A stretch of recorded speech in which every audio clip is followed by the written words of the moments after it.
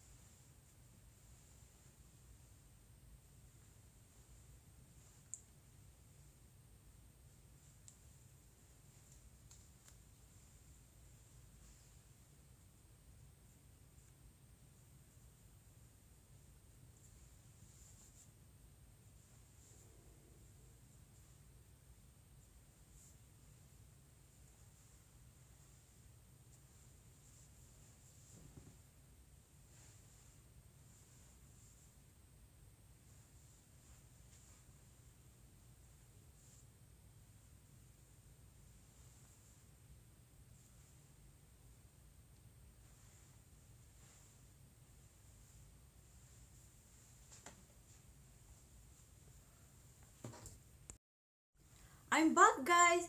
So thank you thank you so much guys for watching for my DIY face mask.